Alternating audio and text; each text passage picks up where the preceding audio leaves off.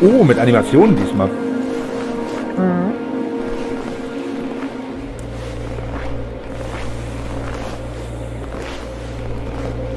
Hat schon Entwicklung gegeben im Spiel.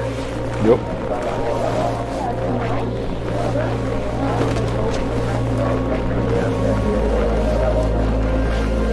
Aber ich erkenne schon gewisse Überschneidungen mit dem ersten Teil, muss ich sagen. Mhm. Geringfügig. Ah, Ah, das kommt mir doch sehr bekannt vor. Auch diese, dieses äh, Leuchtgeschoss eben gerade da. ja.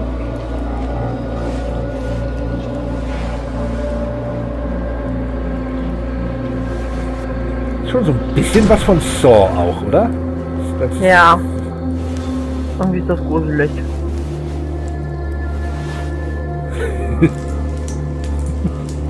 Sehr schön.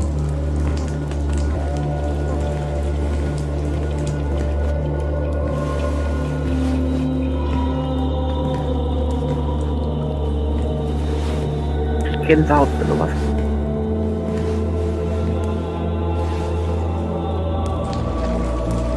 Was ist das?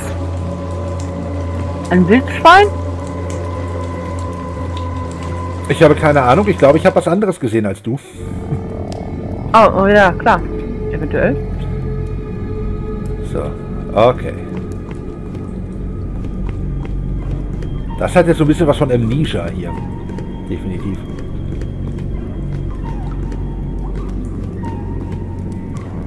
Also welche Taste muss ich nochmal drücken, um zu sprinten? Shift. Oh,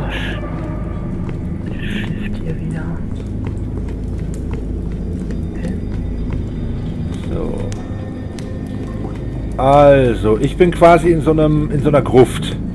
Ich habe einen äh, äh, Sarkophag oder irgendwas vor mir. Da sind auf der einen Seite drei äh, Runen. Täfelchen, Knöpfchen, wie auch immer. Und rechts daneben ist ein roter Schalter. Ja, warte, ich gucke mich gerade noch um, weil ich habe nämlich äh, auch so ein Sarkophag-Ding. Aber davon gegenüber ist eine Tür. Ich Ja. habe Die Runen Tür lässt sich nicht öffnen. Ich habe da immer so, so kleine Einbuchtungen in der Wand. Äh, in der Wand. Ja doch, in der Wand. Äh, mit so Gitterstäben und da sind Runen drauf. Zum Beispiel eine Sanduhr, unser Kronleuchter. So, also ich habe am Sarkophag drei Runen. Nämlich einmal Ja. äh, ein Strichmännchen Pyramid Head beim Gewichteheben. Mit Head beim. Ja. Dann Nee, ein, ein, ein S mit so ein paar Windstrichen. Moment. Und dann den Lolly an der Reckstange von vorhin. Aber äh, ich sehe gerade, ich kann... Ah, ich verstehe, ich verstehe. Äh, äh, äh, Ich das finde ist dein ein, ich habe ich, hab- Pyramid-Head nicht. ich hab ein Kombinationsschloss. Das ist ein Kombinationsschloss. Das heißt, ich muss hier die richtige Kombination eingeben und dann den Hebel ziehen. Das heißt, du musst mir die Kombination geben, vermute ich. Wo soll ich die herholen? Keine Ahnung, irgendwo bei dir muss irgendwas sein. Hast du nicht gesagt, du hast Einbuchtungen mit Runen drin? Ja, fünf Stück. Fünf Stück. Okay, also mein Hebel ist rot, falls dir das irgendwas bringt. Nein. Ganz sicher nicht? Wirklich nicht? Ah, bitte, jetzt habe ich das kapiert. Okay. Äh, Quadratkopf mit Schleife, Arme ohne Beine. Quadratkopf mit Schleife. Warte. Könnt, könnt auch sagen, eine Blume mit nur zwei Blüten. In eckig.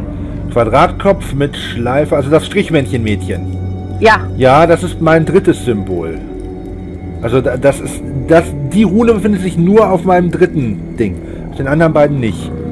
Ich gut, ich muss aber anmachen, weil da ist nämlich ein Sarkophag drin. So.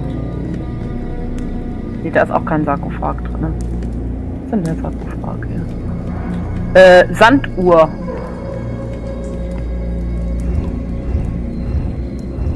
Sanduhr. Ja. Okay, wovon machst du das jetzt abhängig? Welche Symbole du mir gibst? Nur zum Verständnis? Äh, in meinen Einbuchtungen liegen drei Sarkophage. Also ich habe fünf Einbuchtungen, nee, sechs Einbuchtungen und habe nur drei Sarkophage. Da, da, also, du weißt ah, okay. Ja, ja, gut. Dann das dritte Symbol ist? Ich würde fast sagen, es sieht ein bisschen aus wie so eine Holz Heuschrecke. Also so ein Strichmännchen mit äh, Armen, die nach oben ge ge geknickt sind und Beine, die quasi auch nach oben zeigen. Aber die sind nicht geknickt, die sind gerade. Quasi das Los Illuminados-Symbol aus Resident Evil 4. Ja, von mir aus auch das. Ein Strichmännchen, das auf dem Kopf li äh, liegt, ohne Kopf. Ja, quasi. Gut. Genau. Jackpot. Okay, bei mir hat sich eine Uhr, äh, Tür aufgemacht, eine Uhr Ja, bei mir auch. Ich komme in den nächsten Raum jetzt. Die Tür schließt sich hinter mir. Und die Musik ändert sich. Meine Tür schließt sich auch. Meine Musik ändert sich auch. Ich, ich habe ich, ich, habe vor mir ein Buch auf einem Altar. Da steht, eine, da steht ein Text drauf. Aber ich gucke erst mal, was ich sonst noch habe. In der Mitte Ding. ist ein äh, Pentagramm. Nee, das ist kein Pentagramm. Das ist ein... Wie nennt man das denn, wenn es acht Zacken hat? Weiß ich nicht. Achtzackig auf jeden Fall. Dann habe ich hier einen Wandteppich mit diversen Runen in einem Muster angeordnet. Einmal in Rot und einmal in Blau auf der anderen Seite. Sind das, warte, ich gucke kurz, ob die gleichen Runen sind. Ich habe das auch. Es sind aber nicht, es sind nicht die gleichen Runen. Es sind unterschiedliche Runen in den Symbolen. Das eine sieht aus wie ein Skorpion, das ist in Blau. Bei mir. Sieht aus wie ein Skorpion in Blau. Nee, ich habe mehrere. Ich habe äh, acht. Nee. Neun. Neun Runen. Oktagramm, Dankeschön. Ähm, ich habe nur zwei. Ich, ich, ich habe äh, zweimal neun Runen. Ich habe nur, hab nur Rot und Blau. Angeordnet in einmal drei Zeilen, einmal vier, äh, äh, einmal drei, einmal vier, einmal zwei. Einmal in Rot und einmal in Blau jeweils. Dann habe ich halt dieses Oktagramm in der Mitte und das Buch auf dem Altar, das ich mir jetzt mal angucke. Das spannenderweise, obwohl wir Sprache Deutsch ausgebildet haben, in Englisch ist. Lieber B. Ich äh, war noch nie so glücklich in meinem Leben als zu dem Moment, als ich dich getroffen habe. Und ich fühle mich geehrt, äh, deine Liebe im Austausch zu erhalten. Ich wünschte, ich könnte für immer mit dir zusammen sein. Und das Versprechen deiner ewigen Liebe ist sehr aufregend. Aber das Opfer ist zu groß. Also ich übersetze hier on the fly, ne? Ich äh, kann dich das nicht durchziehen lassen. Ich hm? kann dich das äh, starke... Äh, ich kann dich dein starkes, reines Herz nicht zerstören lassen. Ich hoffe, du verstehst die Dinge, die ich getan habe, um dich davon abzuhalten, einen großen Fehler zu machen. Ich möchte, dass du mich erinnerst, dass du dich an mich erinnerst, so wie ich war, in, diesem, in dieser Sommernacht in den Rosengärten. Ich möchte, dass du dich daran erinnerst, dass ich dich immer lieben werde. Und ich möchte, dass du dich daran erinnerst, dass ich immer mit dir sein werde, selbst wenn ich nicht mehr auf dieser Erde verweile. Ich liebe dich für immer. Das ist der Text, der hier steht. Mhm. Darf ich Und auf Englisch vorlesen? Von mir Kann aus. Ich übersetzen. Du musst das übersetzen dann. Von mir aus. Und dann habe ich hier unten, äh, übrigens unten rechts ist was, ist, ist ein Teil der Seite ausgerissen. Mhm. Und ich sehe äh, jeweils den Teil von, von zwei verschiedenen Symbolen. Eins ist ein Löwe oder sowas in der Art. Und das andere kann ich gerade nicht identifizieren. Könnte irgendeine Pflanze sein, bin ich mir aber nicht sicher. so. Jetzt also, ich habe einen kurzen Text an dir, die von B. Aber auf der anderen Seite habe ich sechs Kerzen. Quasi mit mehr oder weniger äh, römischen Ziffern, also so, so Strichansammlungen. Okay. Um, also, here see, my love for you burns with the eternity in, ja, of a thousand, kann ich nicht entziffern. Your beauty shines as bright as the light of the stars, and as colorful as the, as the, as the roses in our garden. Love you forever be. Schönheit glänzt so hell wie die Sterne und was war das andere? Ähm, Irgendwas mit den Rosen im Garten. And uh, as colorful as the roses in our garden. Okay. Was kannst du denn sonst noch machen? Was mit dem Buch? Gar nicht. Nee, so allgemein in deinem Raum. Womit kannst du interagieren? Ich habe äh, um das Oktagramm herum übrigens 1, 2, 3, 4, 5, 6 Kerzen stehen. Mhm. Kannst du die verschieben? Ich kann nämlich sonst nichts weiter machen. Ich kann mit den Kerzen interagieren, ja. Ich kann die anzünden und wieder ausmachen. Okay. Haben die auch bei dir irgendwas drauf? Die Kerzen. Haben die irgendwas drauf? Nein, die sind alle identisch. Gut, bei meine sind nämlich quasi nummeriert. Von 1 bis 6? Ja, Okay, dann ist es wahrscheinlich die Reihenfolge, oder? ja, Wie sind denn die angeordnet? In einem Kreis? ja. Okay. Dann, ähm...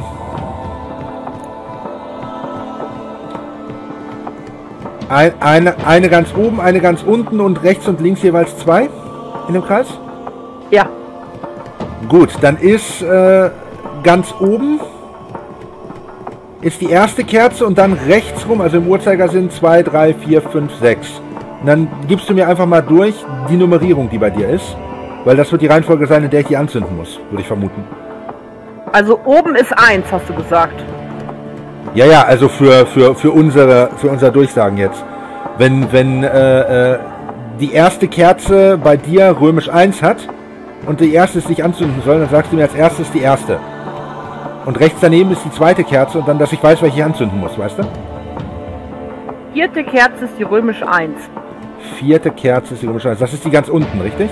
Genau. Okay, ist an. Äh, die zweite Kerze ist die zweite, also die zweite Kerze ist die römisch 2. Ist an. Die dritte Kerze ist die 1. Äh, die, die, die erste Kerze, die erste Kerze ist die 3. So rum. Ist an. Die sechste Kerze ist die 4. Ist an. Die dritte Kerze ist die 5. Und die fünfte ist die 6. Genau. Okay, jetzt sind auf meinen Wandteppichen äh, Runen aufgetaucht. Also die Runen waren schon da, aber da, sind, da leuchten jetzt welche. Auf dem roten leuchtet ein Kreis mit einem X durch. Und auf dem blauen, So meine Runen auf dem Dings leuchtet auch, aber ich habe immer noch nur eins. und auf dem blauen ist es ein, äh, ein Strich mit links und rechts so zwei Pendöppels dran. Quasi so eine, so eine, so eine äh, Horizontlinie. Ich weiß nicht, wie ich das beschreiben soll. Mhm. Keine Ahnung. Okay, Ich, hab, ja, können, gesagt, können wir damit irgendwas anfangen? ich kann nicht damit agieren.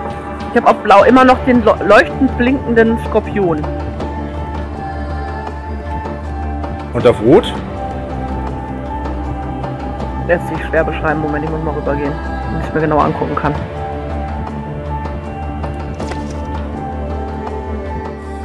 Auf Rot würde ich fast sagen, das sieht ein bisschen aus wie so ein Krebs oder sowas. Ist egal.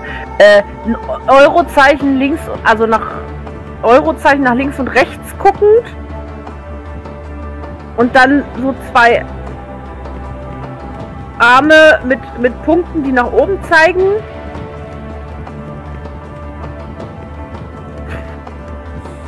Und du kannst Und da überhaupt nicht mit interagieren. Kreuz. Ich kann damit nicht interagieren, nein.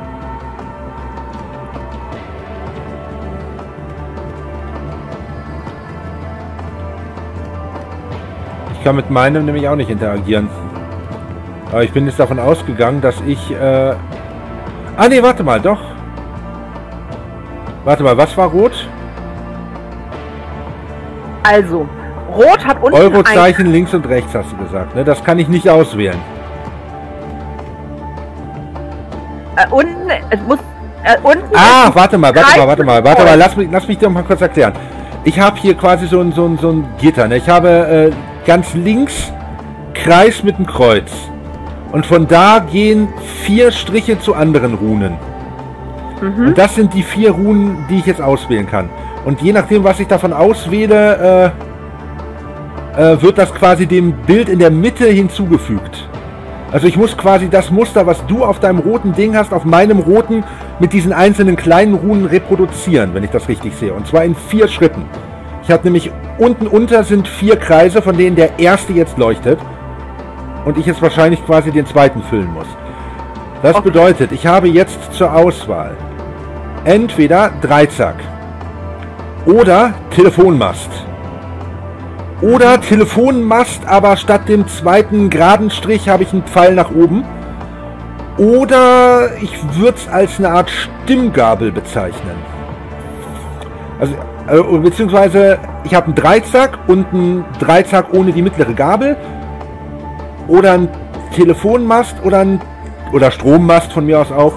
Oder halt das gleiche, nur halt statt zwei parallelen Strichen ein gerader Strich und dann noch ein Pfeil nach oben. Eins von diesen vier Symbolen müsstest du in deinem Ding wiederfinden. Ein gerader Strich mit zwei Parallelen. Der da also. Gut. So, von da aus habe ich jetzt zwei Dinger zur Auswahl. Und zwar einmal ein Smiley-Mund oder äh, ja, die, die gegenüberliegenden Eurozeichen. Das müsste ja dann, müssten dann die Eurozeichen sein, ne? Die hattest du mir ja schon beschrieben. Wie sieht denn der Smiley-Mund? Ist das nur ein Smiley-Mund? Ja. Ich habe im nächsten Schritt nochmal einen Smiley-Mund mit einer Nase da drin. Okay, gut. Dann, weil ich wollte gerade sagen, also Smiley-Mund mit Aufwand, aber dein Smile- Smiley-Mund mit Nase passt. Dann die Eurozeichen bitte. Gut, und dann der Smiley-Mund mit Maße, ja? Ja. So, also, das fertige Symbol ist quasi von unten nach oben, haben wir einen Kreis mit einem Kreuz drin. Ja. Äh, da oben drauf sitzt quasi dieser Telefonmast mit den parallelen Dings. Ja. Und an diesem Telefonmast links und rechts gehen die Eurozeichen raus und äh, oben sitzt der Smiley-Mund mit dem Strich in der Mitte. ja. Gut. Dann machen wir jetzt das Blaue. Ja. Ich mag übrigens die Musik, gefällt mir. Ja. So, hier ist mein Anfangszeichen. Was? Muss erst noch rüberlaufen, warte. Ja, ja. Hier ist mein Anfangszeichen, ist ein äh, gerader Strich, der äh, links und rechts sich quasi so ein kleines bisschen abknickt. Links nach oben, rechts nach unten. Ja, okay, dann weiß ich, wo wir sind. Weiter? Das ist mein Anfangszeichen. Und dann habe ich jetzt die Auswahl Ja? zwischen äh, einem Smiley-Mund mit Dreiecksaugen oder einem Angelhaken oder einem Angelhaken mit einem Euro vorne dran oder einem Angelhaken mit einem äh, Kreis vorne dran. Also. Der Smiley-Mund hat was nochmal? Dreiecksaugen. Ich habe im nächsten Schritt auch noch einen Smiley-Mund mit äh, Kreisaugen. Nein, also. Und einen Angelhaken hast du. Drei, Also drei, drei Angelhaken habe ich zur Auswahl. Da ist einmal vorne ein Euro dran, einmal ein Dreieck und einmal ein Kreis. Hast, also, ich habe hier ein Smiley. Also, jetzt lass mich erst ausreden. Angelhaken passt, der muss nach unten. Ja. Smiley-Mund mit Dreiecksaugen wäre bei mir oben. Aber in diesem Smiley mit den Dreiecksaugen ist nochmal quasi ein Lollipop mit einem Punkt in der Mitte. Das ist der letzte Schritt dann. Da habe ich drei Lollipops zur Auswahl. Äh, also du sagst mir, ich brauche... Welch, welcher, welcher Angelhaken? Fangen wir mal damit an. Welcher Angelhaken? Mit einem Dreieck, alles Dreiecke. Alles Dreiecke. Außer der Lollipop, das ist ein Kreis.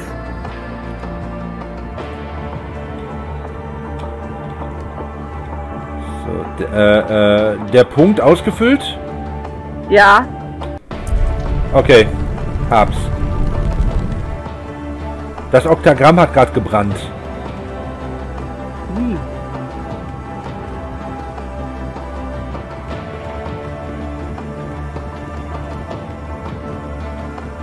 So, die Tür ist aber noch nicht offen. Das heißt, irgendwas müssen wir noch machen.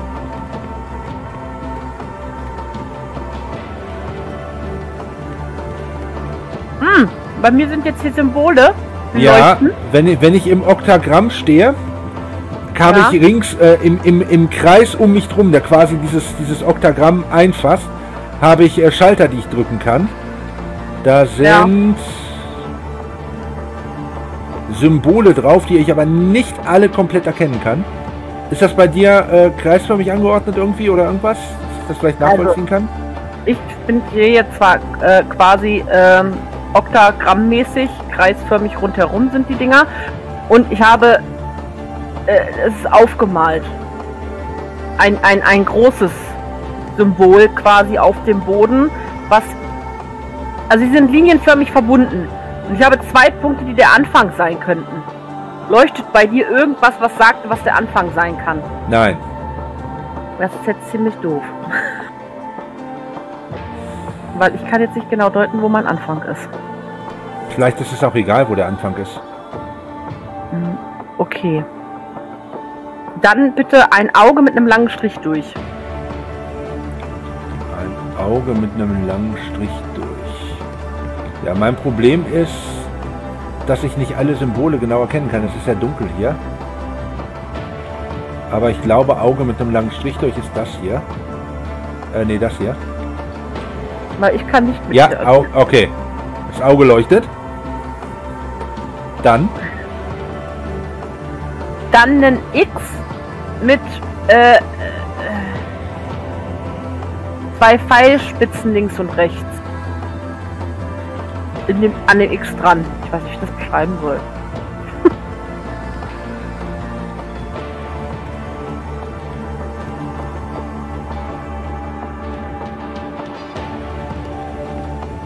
Kann es halt teilweise echt nicht erkennen. Ein X, sagst du. Äh, äh, Ja. äh, ähm, ein X mit einer Brille quasi? Ja. Also das da. Du könntest es quasi in der Mitte teilen und hättest dann zwei identische Hälften, die einfach nur spiegelverkehrt sind, richtig? Ja. Gut, dann habe ich das Richtige gedrückt. So, next. Eine Schleife. Oder auf der Seite liegende Sanduhr. Mir egal, wie du das haben möchtest. Was könnte Seite das hier sein? Sanduhr Oder okay, hast du? ja. Ähm, ein Blitz mit einem Lichtkranz oben drüber. So, kurz gucken, ob ich noch mehr Blitze habe, aber ich glaube, ich habe nur den einen. Ja, Äh, dann zu einem nach unten schwimmenden Fisch.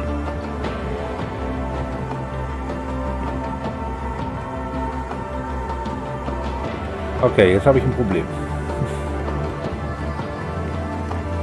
Das kann ja eigentlich nur der hier sein. Ja,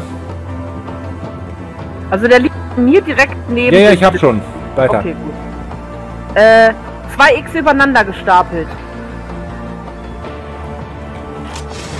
Das Problem ist halt, dass Ja. es teilweise ist der Raum so dunkel, dass ich das Symbol nicht sehen kann auf dem. Ich muss ja immer mit Ja. Ausschlussverfahren. Okay, der ist es nicht, der ist es nicht, dann muss es ja der sein. so, Ah, hast ja? Ähm, ich überlege gerade, wie ich das nennen soll. Ähm, soweit ich das sehe, sind nur noch zwei Symbole übrig. Auf, aufgeklapptes Buch, würde ich das jetzt mal nennen. Es ist nicht das große X, richtig? Es ist nicht das große X, Dann nein, muss es ja das andere sein, weil es sind ja nur noch zwei über. aufgeklapptes Buchding, würde ich das nennen. So, und dann das X als letztes, ja? Und das X als letztes, ja. Okay, Got it. got it. Tür ist offen. Welche Tür? Wo denn? Keine Ahnung, ich Also- weiß nicht, wie dein Raum aufgebaut ist. Meine Tür ist offen. Ähm. So, ich, komm, viel- ich komme in ein Treppenhaus. So, so, so, so ein rundes Treppen, äh, so ein runder Treppenaufgang. Unter der Treppe ist wieder ein Buch. Und daneben ein Schalter. Ich gehe aber, bevor ich das Buch lese, erstmal die Treppe rauf und gucke, was da oben noch ist.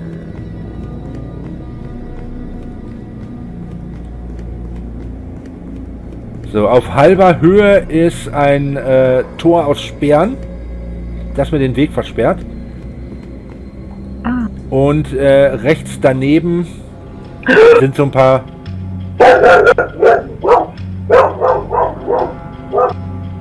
Dinger an Also- die an die an die äh, äh, Wand geschraubt. Wovor hast du dich gerade erschreckt? Ich habe den offenen Raum gefunden, bin reingegangen und die Tür ist zugegangen hinter mir. Und mein Hund hat gebellt. Oh verdammt, es ist auf Zeit. Die, ich hätte die Treppe nicht hochgehen sollen. Ich äh, werde gleich sterben. Äh, Hast du irgendwas, mit dem du interagieren kannst? Was, äh, mit Dreiecken und Vierecken und Oh. Fünfecken? Zufällig. äh, ich, hab- ich habe Würfel. Du hast Würfel. Ja, äh, ich brauche ich brauch mehr Informationen. Mir läuft die Zeit davon. Die, die ich habe Treppenstufen 1, ziehen 2, schnell 3, rein. 4, 5, 6, 7 Würfel und äh, ein Ding in der Mitte. Wie sehen die Würfel aus? Mit Symbolen drauf! Ja, was für Symbole? Verschiedene Steuerraten, Dreieck! Hast du ein Dreieck, das äh, äh, äh, umgeben ist von einem Kompass, zwei Fünfecken und einem Viereck? Ja, Und direkt gegenüber ist noch ein Dreieck. Muss noch ein Dreieck sein, Ja, wenn das der hab Würfel ist. Ja, dann da mach damit mal irgendwas. den kann ich in der Hand nehmen. Den kann ich in die Mitte stellen. Hab Uiuiuiui. ich habe ihn in die Mitte gestellt. War das jetzt gut? Ich habe keine Ahnung. Hier ist, äh, ich glaube, ich habe nicht mehr viel Zeit. So, was jetzt? als- Was hast du noch? Hast du noch irgendwas? Nein. Kann sein, dass das der falsche Würfel war. Gibt es mehr Würfel, die dazu passen? Okay, Ja. ich glaube, ich bin tot. ich habe jetzt noch eine Stufe, auf der ich stehen kann. Und die fährt gerade in die Wand. Ich stürze jetzt in die Lava. Tschüss. What the fuck ist da gerade passiert?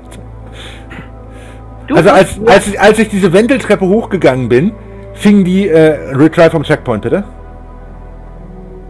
Ja, können wir erstmal kurz sprechen, Gut. bevor Als wir- ich, als, ich, als ich diese Wendeltreppe hochgegangen bin, ich wollte ja eigentlich nur oben gucken und dann nochmal wieder runter zu dem Buch, ne? Und dann bin ich an dieses Tor gekommen, habe gesehen, okay, da ist dieser, inzwischen weiß ich, es ist ein aufgeklappter Würfel, den ich dir Ja. dann quasi durchgeben muss, damit du den richtigen Würfel finden kannst, ne? Dann habe ich gesagt, gut, dann gehst du jetzt mal runter und liest das Buch. Und dann habe ich gesehen, dass hinter mir die Stufen eine nach der anderen in der Wand verschwunden sind und darunter war halt ein Lavabecken. Und als du gesagt hast, ich habe den Würfel in die Mitte gestellt, sind fünf oder sechs Stufen auf einmal in der Wand verschwunden. Und dann hast du nochmal irgendwas gemacht, nachdem ich gefragt habe, ob das der richtige Würfel war oder ob es vielleicht noch Alternativen gibt. Und da sind nochmal fünf oder sechs Stufen verschwunden. Und dann hatte ich original noch eine. Und dann war ich tot. Ja, weil das wieder ein anderer falsch ist. Du musst mir auch Farben durchgeben. Okay, das, das sind Informationen, die ich nicht hatte. Ja, du dass- dass du Farben brauchst. Du, du fragst mich was mit dem Würfel und, op, op, op, und der braucht das und das und das. Sag doch einfach, dass der auch Farben, ne? Also, Keine Ahnung, was ich. hab bei dir, du bist dann auch immer so panisch. Aber ja, aber wo. gar nicht reden. Aber Schätzelein, woher soll ich denn wissen, dass deine Würfel unterschiedliche Farben haben, wenn du mir das nicht sagst?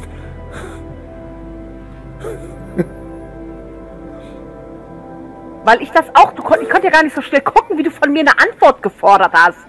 Schätzelein. So. Sorry, ich werde dann. Ich, äh, wenn, der Tod droht, dann werde ich vielleicht etwas panisch. Kommunikation ist nicht, Trumpf übrigens. nicht auf der Bühne anschlaut. So, ich, jetzt gucke ich mir erstmal dieses scheiß Buch an hier. Und ich gucke, was ich mit diesem Hebel hier machen kann. Ich wollte nur sagen, meine Tür ist wieder zu.